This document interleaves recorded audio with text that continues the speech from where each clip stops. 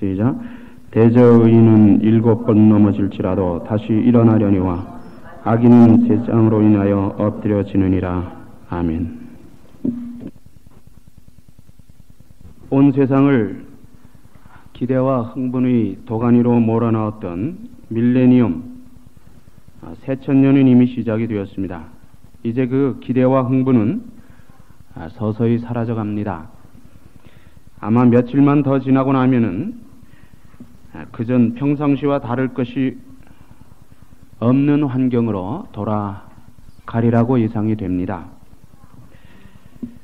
그런데도 사람들은 그토록 2000년이 되면은 무엇인가 천지 개벽이 일어날 것 같이 그렇게 외쳐댔습니다. 어쨌든 천년대는 완전히 지나가고 새로운 2000년대를 맞이했습니다. 소위 말하는 21세기에는 많은 것이 아, 달라지게 될 것이라고 말들을 합니다. 물론 그것이 얼마나 어떻게 달라질 것인지에 대해서는 어느 누구도 예측할 수 없는 형편이기는 해도 그래도 많은 사람들이 거의 대부분의 사람들이 21세기에 희망을 걸고 있는 것 같습니다. 좋아지고 편리해지기를 원하는 당연한 이유도 있겠지만 아, 사람들이 한계를 우리가 여기서 볼 수 있습니다. 그 이유는 아, 좋아지는 것, 편리해지는 것은 아, 거기에 반대편의 의미에서의 안 좋은 것을 수반하기 때문입니다. 예를 들어서 어떤 한 가지를 만들기 위해서는 그것을 만들기까지 또 많은 것들이 희생이 됩니다.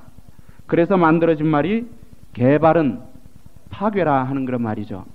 무엇이 개발이 되고 좋은 것이 만들어 지는 것은 우리의 삶을 윤택하게 또는 편리하게 만들지만 그것을 만들기 위해서 또 다른 어떤 환경이 파괴되어야 된다고 하는 그 대가가 치루어지지 아니하고는 새로운 것이 만들어지지 않는다고 하는 그런 원리에서 봤을 때 삶이 윤택해진다고 하는 것, 환경이 나아진다고 하는 것이 꼭 좋은 것만을 의미하는 것은 아니라고 생각이 됩니다. 그렇기 때문에 보이는 한쪽만 보고 좋아하기보다는 아, 보이지 않는 그쪽을 우리가 한번 주의 깊게 생각해 볼 수 있는 삶의 여유도 필요하다고 하는 말입니다. 이제 우리는 2000년대 들어서 있습니다.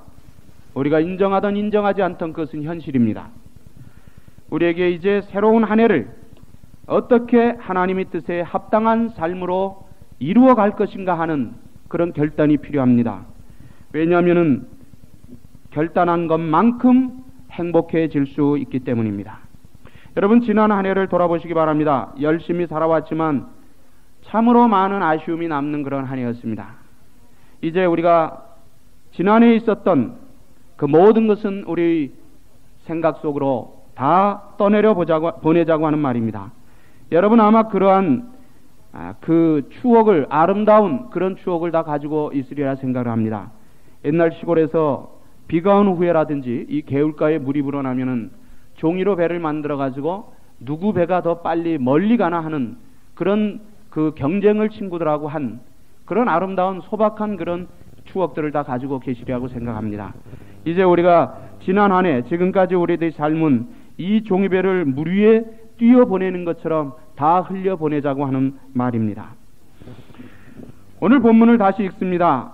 오늘 본문에 이런 말씀이 있습니다. 대저의인은 일곱 번 넘어질지라도 다시 일어나려니와.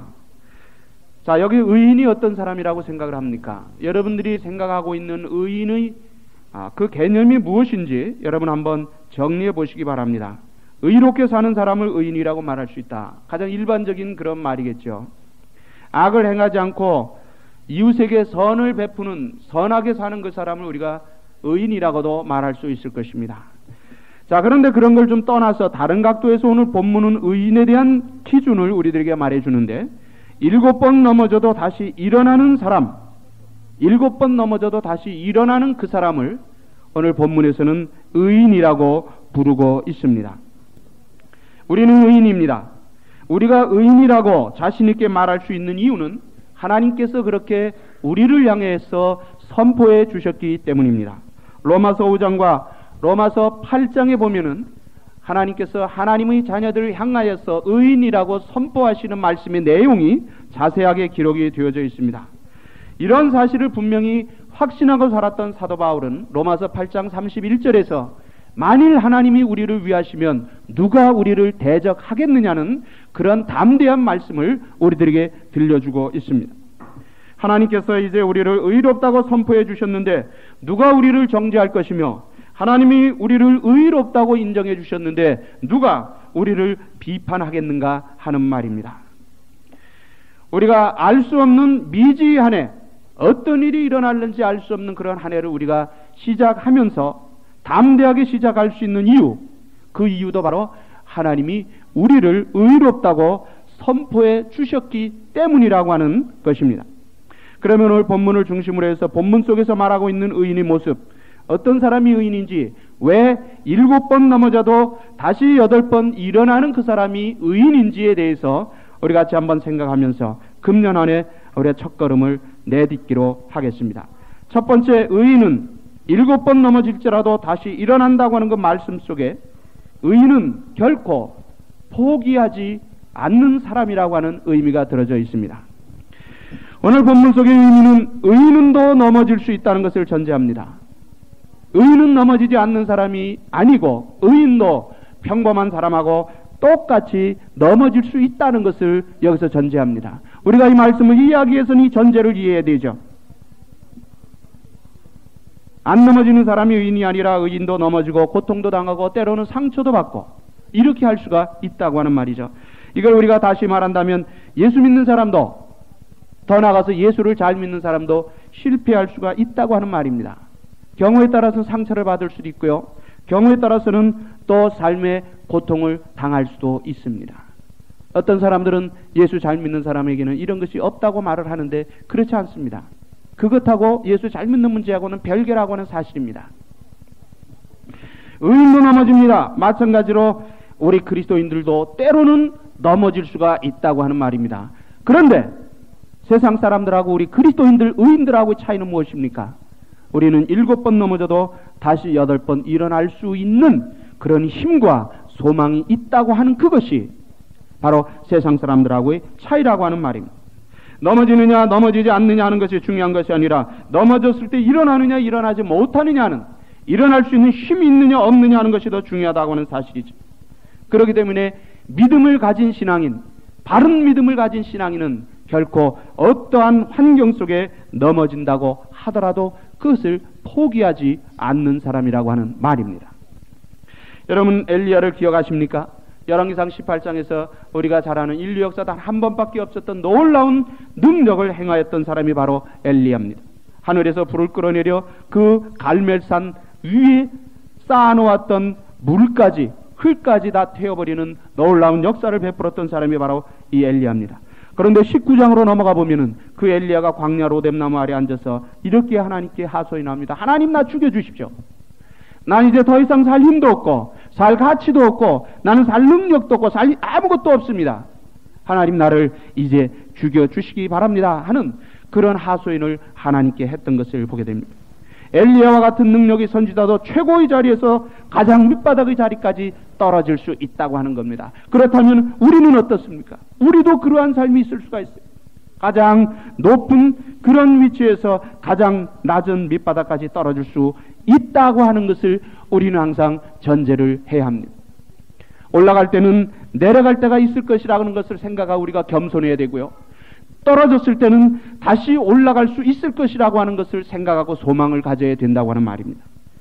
결국 엘리에는 어떻게 됐습니까? 하나님께서 그를 높이시고 그는 다시 일어나서 40일 40주야를 걸어서 호럽산에 가서 거기서 하나님께로부터 새로운 사명을 받는 그것을 우리들이 계속해서 볼 수가 있습니다. 여러분 포기할 수밖에 없는 없을 만큼 힘든 환경 속에 떨어진다고 해도 결코 그것으로부터 자기 삶을 포기하지 않는 자기 꿈을 자기 기대를 자기 계획을 포기하지 않는 그 사람이 바로 의인이라고 하는 말입니다. 지난 1년을 여러분 돌아보십시오. 혹시라도 넘어졌던 적이 있습니까? 고통스러웠던 적이 있습니까? 아니면 모든 것을 다 포기하고 싶고 포기하고 멀리 도망가고 싶었던 그런 충동을 느낀 적이 있습니까? 실망했던 적이 있습니까? 여러분이 모든 것을 이제 다 떠나버리고 이제 우리가 새롭게 일어나자는 겁니다. 힘차게 일어나자는 거예요. 사도 바울은 사방으로 우겨쌈을 당하였지만 그는 자기 삶을 결코 자기 사명을 자기 믿음을 결코 포기하지 않았기 때문에 결국 로마를 복음화시키는 놀라운 역사를 이루었던 것을 우리들이 보게 됩니다. 이제 우리도 이제 우리 모든 삶을 포기하지 말고 다시 한번 우리가 주님 주시는 힘으로 새롭게 이 한 해를 맞이하자는 겁니다. 우리는 왜 그래야 합니까? 우리는 의인이기 때문입니다. 그 다음에 두 번째로 오늘 본문 속에 들어있는 의미가 있습니다. 그 교훈이 있습니다. 의인은 다시 일어나 도전하는 사람이라고 하는 뜻입니다. 일곱 번 넘어질지라도 다시 일어난다고 하는 말은 다시 시작한다고 하는 말입니다. 포기하지 않는 사람은 다시 시작할 수가 있습니다. 그러나 자기 모든 것을 포기하는 사람은 아무리 좋은 환경이 다시 온다고 해도 그것으로부터 일어날 수 없다고 하는 말입니다. 우리가 잘 아는 아브라함, 여러분 한번 아브라함을 기억해 보십시오. 아브라함은 여러 번 넘어졌던 사람입니다. 여러분 다윗은 어떻습니까? 그리고 베드로는 어떻습니까? 야곱은 어떻습니까? 그 믿음의 조상이라고 하는 그들도 다 여러 번 넘어졌던 그런 실패의 경험들을 가지고 있었던 사람들입니다. 그러나 그러한 경험들을 통해서 그들이 더욱더 높은 하나님께서 귀 쓰시는 자리로 성장해 갔다고 하는 사실을 우리는 기억을 해야 합니다. 여러분 일곱 번 넘어졌을 때 여덟 번 다시 도전하는 것 결코 쉬운 것은 아닙니다. 이건 아무나 할 수 있는 일도 아니고요. 성공하거나 하나님께 크게 쓰임 받았던 그런 사람들, 그런 사람들이 삶을 돌이켜 보면은 그들에게는 그만한 이유가 있었던 사람들이었음을 우리는 볼 수가 있습니다. 여러분 한번 예를 들어 이렇게 생각해 보십시오. 열 번째 어떤 일을 열 번째 시도했다 성공했 열 번째 시도했다가 성공했 성공 사람이 있다고 가정했을 때 그 사람이 만약에 아홉 번까지만 시도했다가 안 됐다고 해서 포기해 버렸다면 그 사람 결코 성공할 수 없었을 것이라는 말이. 여러분 지난 1년을 돌아보십시오. 여러분이 어떤 계획을 세우고 시도했는데 안 된 것이 있습니까?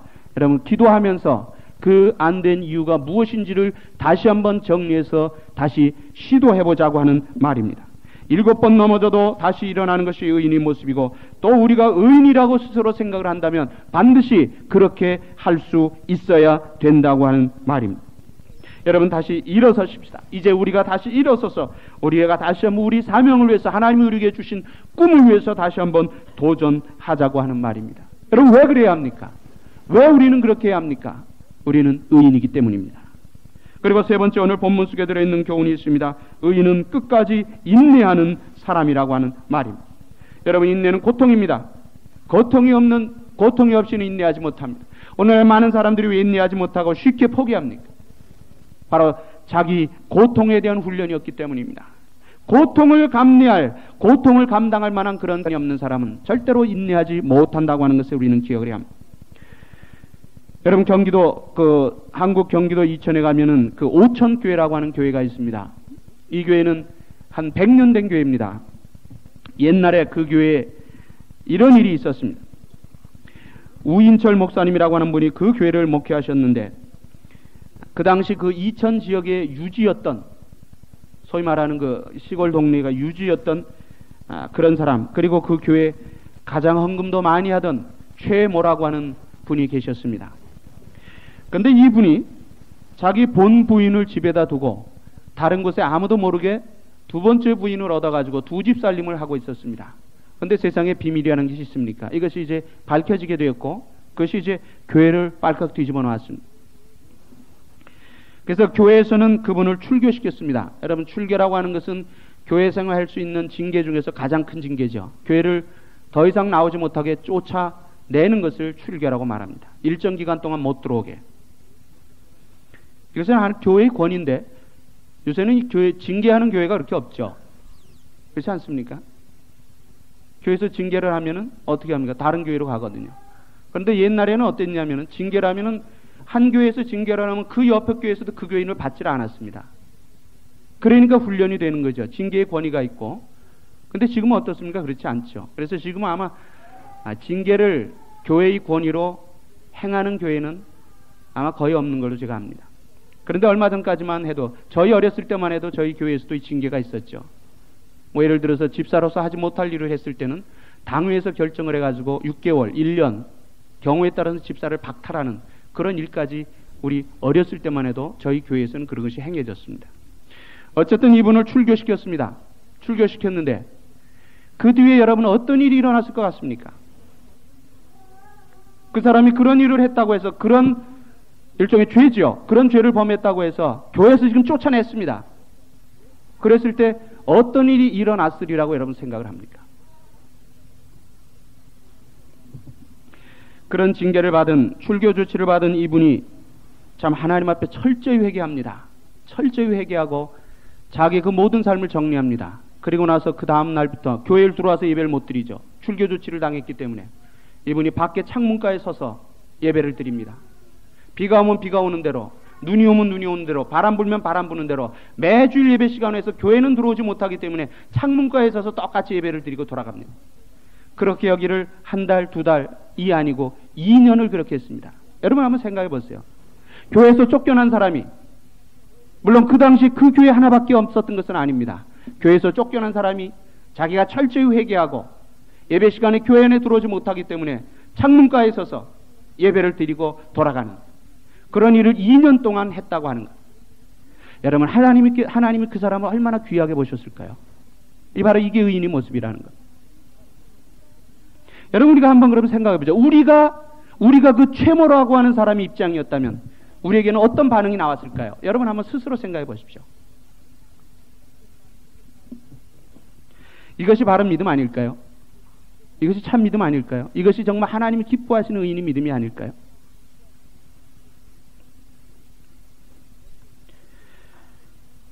여기서 우리는 의인이 인내를 볼 수가 있습니다. 여러분 지난 1년을 돌아보십시오. 정말 우리에게 인내하지 못했던 것이 있었는지 이제 그런 모든 것을 다 잊어버리고 십자가 앞에서까지 인내하셨던 우리 주님을 배우자고 하는 말입니다. 그래서 금년에는 너희 인내로 너희 영혼을 얻으리라고 하는 예수님의 말씀과 같이 우리 인내의 열매를 맺는 그런 한 해. 우리가 이제 살아가다 보면은 어떠한 환경을 부 저 만날지 모릅니다. 어떤 사람을 만나게 될지도 모릅니다. 그러나 우리는 인내하며 믿음으로써 인내하며 그 모든 것을 이겨가자고 하는 말입니다. 우리는 어려워도 힘들어도 인내해야 합니다. 왜 그래야 합니까? 우리는 의인이기 때문입니다. 그 다음에 마지막 네 번째로 오늘 본문 속에 들어있는 교훈은 의인은 자기 자신의 가치를 아는 사람들이라고 하는 뜻이 포함되어 있습니다. 여러분, 여러분이 얼마나 귀한 존재라는 사실을 한번 생각해 본 적이 있습니까? 한번 심각하게, 아주 깊이, 정말 조용한 시간에 내가 얼마나, 얼마나 귀한 존재인가, 내가 누군가, 내가 얼마나 가치 있는 존재인가 하는 것을 한번 여러분들 생각해 본 적이 있습니까? 하나님의 영상으로 창조되었고, 비록 죄로 타락되기는 하였지만, 예수님께서 값을 치르시고 다시 구속해 주신, 그리고 새 생명을 허락하신 성령의 전으로서의 그 삶이 바로 우리 삶입니다. 우리가 이렇게 귀하다고 하는 사실. 여러분 이보다 더 귀한 가치를 세상 어디에서 찾습니까? 의인이 왜 포기하지 않습니까? 바로 하나님 앞에서 자기가 얼마나 귀한 가치 있는 존재인가 하는 것을 아는 사람은 여러분 어떤 환경에 들어가도 포기하지 않습니다. 세상 사람들은 잊고 배웠고 가졌고 하는 것을 가지고 사람의 가치를 정합니다. 그러나 그것은 정작 사람을 평가할 수 있는 가치의 절대적인 기준이 되지 못합니다. 왜냐하면 수시로 변하기 때문이죠. 있다가도 없게 되고 없다가도 있게 되고 여러분 제가 지난 시간 지난 주일날 설교하면서 말씀드린 거 기억하실지 모르겠습니다. 어떤 사람이 젊었을 때 한번 심각하게 고민한 적이 있다고 했죠. 그저 사춘기 때 티네이저들이 하고 넘어가는 것과 같은 그런 고민이 아니라 정말 자기 일생을 걸고 고민한 것이 있다고 했습니다. 내가 무엇을 어떤 일을 위해서 어떤 일을 하면서 살아야 내 인생을 어떤 곳에 써야만 가장 가치 있는 삶일까? 내가 정말 영원한 존재라면은 내가 그 영혼을 위해서 무엇을 해야 될 것이며 그 영원한 것을 과연 이 세상에서 찾을 수가 있는지 내가 정말 내 인생을 다 거기에 걸만한 그런 가치 있는 일을 찾을 수 있을 것인지 이거에 대해서 한번 깊이 생각한 적이 있다고 고민한 적이 있다고 말씀드렸습니다. 그러다 그분이 어떻게 하게 됐습니까? 하나님의 말씀 성경을 읽다가 거기서 세 가지를 찾아냈다고 했죠. 그 첫 번째가 무엇이라고 했는지 기억하십니까? 히브리서 13장 8절.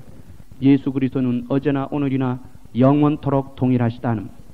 아, 예수 그리스도가 영원하구나. 이걸 찾아냅니다. 예수 그리스도가 영원하구나. 그다음에 두 번째 영원한 것을 찾아냅니다. 마태복음 24장 35절 말씀을 읽다가 천지는 없어지겠으나 내 말은 없어지지 아니하리라 하는 그 말씀을 통해서 아 하나님의 말씀이 영원하구나. 하나님의 말씀이 영원하구나. 그리고 세 번째 영원한 그것을 찾습니다. 요한일서 2장 17절에 세상도 정력도 다 지나가되 오직 하나님의 뜻을 행하는 자는 영원히 거하느니라. 아 하나님의 뜻을 행하는 사람이 영원하구나. 이 세 가지를 그분은 성경을 통해서 그 찾아내게 됩니다. 그러면서 자기의 그 심각했던 고문이 다 해결이 되고 그러면 바로 이 영원한 것 예수 그리스도와 하나님의 말씀과 그리고 하나님의 뜻을 행하는 그러한 삶을 내가 살겠다고 그는 결단하고 하나님 앞에 자기 모든 삶을 헌신했던 것을 우리들이 보게 됩니다. 여러분 제가 지난 시간에 그걸 말씀드렸죠. 그렇다면 여러분들도 그분처럼 한 번 내 한 번밖에 없는 인생을 어디에다 쓰는 것이 가장 가치 있는 삶인가 하는 것을 가지고 한 심각하게 고민한 적이 있었느냐는 겁니다. 당연히 해야 되지 않습니까, 우리가? 우리가 정말 한 번밖에 살 수 없는 영원한 존재, 가장 귀한 가치를 가지고 살아가는 인간들이라면, 하나님의 백성이라면, 정말 이걸 가지고 우리가 한번 고민해 봐야 된다는 거예요. 그저 쓸데없는 것, 별거 아닌 것, 있어도 그만이고 없어도 그만인 그런 것 가지고 고민할 것이 아니라, 정말 이 귀한 삶을 누구를 위해서 어디에다 써야 되는 것이 가장 가치 있는 삶인가 하는 것을 가지고 우리가 정말 한번 일생을 걸고 심각하게 고민할 수 있어야 된다고 하는 말입니다. 여러분 자기 가치를 아는 사람들이 이런 고민을 할 수 있는 사람입니다. 이걸 다른 말로 말하면 이런 고민이 없이 살아가는 사람은 자기 가치를 모르는 사람이라고 하는 말로 우리가 말할 수밖에 없습니다. 여러분 그렇지 않습니까? 정말 내가 귀하다고 하는 사실을 알다면 내 가치를 안다면 내 삶을 가지고 삶을 놓고 고민할 수 있다고 있어야 된다고 하는 말이 그런데 안타까운 것은 오늘 많은 사람들이 잠 시간이 귀하고 인생이 한 번 살면은 다시 돌이킬 수 없도록 귀하다고 말은 하는데도 그거 가지고 고민을 안 합니다. 이게 문제예요. 하고 고민을 할 수 있는 사람입니다. 이걸 다른 말로 말하면 이런 고민이 없이 살아가는 사람은 자기 가치를 모르는 사람이라고 하는 말로 우리가 말할 수밖에 없습니다. 여러분 그렇지 않습니까? 정말 내가 귀하다고 하는 사실을 알다면 내 가치를 안다면 내 삶을 가지고 삶을 놓고 고민할 수 있다고 있어야 된다고 하는 말이. 그런데 안타까운 것은 오늘 많은 사람들이 잠 시간이 귀하고 인생이 한 번 살면은 다시 돌이킬 수 없도록 귀하다고 말은 하는데도 그거 가지고 고민을 안 합니다. 이게 문제예요. 물론 여러 가지 이유가 있겠죠. 여러분 이제부터 우리 이거 가지고 고민하자는 거예요. 그저 세상에 있어도 없고 있을 수도 없고 있고 없을 수도 있는 그런 것 갖고 우리가 고민하지 말고요. 예, 그런 것 가지고 고민하지 말고 내가 어떻게 하면 하나님의 백성다운 삶을 살 수 있을까 하는 그것 가지고 우리가 고민하면서 살아가잖아요. 자신의 가치를 아는 사람은 함부로 생각하지 않습니다. 내가 이렇게 귀한 존재라고 하는 사람인데 그걸 아는 사람이 어떻게 함부로 생각합니까? 자기 가치를 아는 사람은 함부로 말하지 않습니다. 내가 이렇게 귀한 존재, 그런 가치 있는 존재인데 내가 어떻게 함부로 말을 합니까? 정말 자기 가치를 아는 사람은 함부로 행동하지 않습니다. 여러분, 내가 이렇게 귀한 가치 있는 존재인데 내가 어떻게 함부로 삽니까? 우리가 함부로 생각하고 함부로 말하고 함부로 행동하는 사람. 이런 사람들은 어떤 사람입니까? 자기가 얼마나 귀하다는 것을 알지 못하는 사람들이에요. 자기의 가치를 아는 사람은 철저하게 자기를 훈련하는 사람입니다. 자기를 훈련한 사람, 어떤 사람입니까? 자기가 귀하다는 것을 아는 사람이에요. 정말 안타까운 것은 신앙생활을 그렇게 오래 하면서도 거의 변화가 안 되는 사람들이 있어요. 그런 사람을 볼 때 여러분이 목회자의 마음이 얼마나 안타까운지 압니까? 왜 그렇습니까? 자기 가치를 모르기 때문이에요. 우리 속에 정말 예수 그리스도의 생명이 있다면 날마다 조금씩이나마 변화가 돼야 되죠. 옛날이나 지금이나 별반 차이가 없는 그런 것을 볼 때 참 얼마나 안타까운지 모릅니다, 여러분. 이제 우리가 금년에 그렇게 살지 말자는 거예요. 예? 여러분이 정말 귀합니까? 여러분이 정말 귀하다고 하는 것 사실 인정합니까? 그럼 훈련하자는 거예요. 날마다, 날마다, 날마다 훈련하자는 거예요. 훈련이 없는 것은 자기 가치를 인정하지 못하는 모습입니다. 정말 내가 귀하다는 것을 내가 놓... 물론 완전한 것을 의미하는 것은 아니죠. 때로는 우리 의인도요 안 좋은 생각을 할 때가 있습니다. 그렇죠? 때로는 우리도 우리도 모르게 그런 안 좋은 말을 부정적인 말을 할 수도 있어요. 때로는 우리가 그리스도인답지 못한 그런 행동을 할 때도 혹시 있을지 모릅니다. 그러나 자기 가치를 아는 사람은 그 다음에 즉시 어떤 반응이 나타납니까? 아, 내가 하지 말았어야 되는 이걸 또 했구나. 그죠? 그게 있어야죠. 그게 없이는 우리가 진정한 신앙의 삶을 걸어가는 사람의 모습이라고 할 수가 없다는 말입니다. 여러분 지금까지는 우리가 어떻게 살았든지 상관없습니다. 이제부터는 우리가 한번 이렇게 해보자는 거. 우리 잘 훈련하자는 거. 여러분 훈련한다고 하는 말은 부족하다는 것을 전제하는 말입니다. 그렇지 않습니까? 우리가 부족하지 않다면 우리를 왜 훈련할 이유가 없죠. 우리가 부족하기 때문에 우리가 완전하기 때문에 우리는 아직도 그리스도의 장성한 분량을 충만한 데까지 가야 되기 때문에 우리에게 훈련이 필요한 것이고 하나님이 그래서 우리들에게 훈련하라고 요구하시는 겁니다. 그러니까 훈련하자는 거예요. 예? 더 열심히 신앙생활 하도록 우리가 해보자는 거예요. 뜻이 있는 곳에는 길이 있다는 말이 있죠. 우리가 정말 하려고 하면은요, 길은 생깁니다. 사람도 죽고 사는데요. 그렇지 않습니까? 우리가 그렇게 하겠다고 하는 마음이 없는 것이 문제죠. 방법이나 길이 환경이 안 되어 갖고 문제는 아니라는 거죠. 그렇기 때문에 우리가 오늘 우리가 처해 있는 환경 속에서 하나님께 기도하면서 우리 최선을 한번 금년에는 이루어 가자고 하는 말입니다. 하나님께서 창조하셨고 예수님께서 구속하시고 성령께서 우리를 인치시고 인도하시는 우리 삶 그러한 삶이 바로 의인의 삶입니다. 그 사람이 바로 의인의 모습입니다. 아무에게나 의인이라고 부르지 않습니다. 여러분 아무에게나 의인이라고 부르는 것이 아닙니다. 그리고 또 아무나 의인이 될 수 있는 것도 역시 아닙니다. 여러분 의인은 일곱 번 넘어질지라도 결코 포기하지 않는 사람입니다. 의인은 일곱 번 넘어질지라도 다시 일어나 도전하는 사람입니다. 의인은 일곱 번 넘어질지라도 끝까지 인내하는 사람입니다. 그리고 의인은 일곱 번 넘어질지라도 자기 가치를 아는 사람입니다. 그리고 자기 가치를 아는 사람은 자기 삶을, 자기 신앙을 철저하게 훈련해 가는 사람입니다. 여러분 지난 천년 이제 지나갔습니다. 우리가 거기에 미련을 가질 이유도 없습니다. 아쉬워할 필요도 없습니다. 왜냐하면 하나님께서는 우리에게 또 다른 새로운 천년이라고 하는 기회를 주셨기 때문에 누가복음 13장에 있는 말씀 여러분 기억하십니까? 무화과 나무의 비유. 찍어버려라 내가 3년 동안 열매를 구하였으나 얻지 못하였으니 어찌 땅만 버리겠느냐 하는 말씀을 기억하십니까? 그 비유를 여러분 기억하십니까? 그때 그 관지기가 주인에게 뭐라고 말합니까? 주인이여 금년에도 그대로 두소서 내가 두릅하고 걸음을 주겠어 이제 열매를 열면이 오냐 그렇지 않으면 그때 찍어버리소서 여러분 또 천년이 우리들에게 무슨 의미가 있습니까? 여러분이 천년을 어떻게 이해합니까?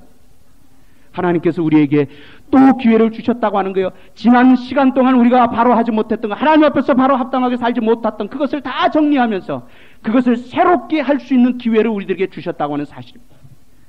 여러분, 우리 결단하십시다.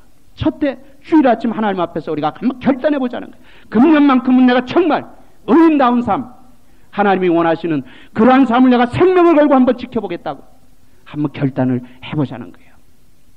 이것이 바로 의인의 삶이 아닙니까? 그저 작년처럼 똑같이 우리가 살아가지 말고 작년처럼 똑같이 바쁘다는 그 이유 때문에 우리 삶을 그렇게 무가치하게 보내지 말고 금년 우리가 한번 해보자는 거예요. 여러분 세상 사람들도 2000년이라고 해서 막 기대에 흥분에 돋쳐 있는데 우리 그리스도인들이 그런 모습이 없었으면 되겠습니까? 금년에는 진정으로 우리 가 정말 의인답게 정말 멋있게 한번 살아보자는 겁니다. 하나님이 우리 삶을 보실 때 하나님이 마음에 흡족함이 있도록 만족함이 있도록 기쁨이 있도록 우리가 그렇게 한번 살아보자는 말입니다. 이러한 귀한 의인이 복이 넘치는 한 해가 되시기를 주님의 이름으로 축원합니다. 기도드리겠습니다.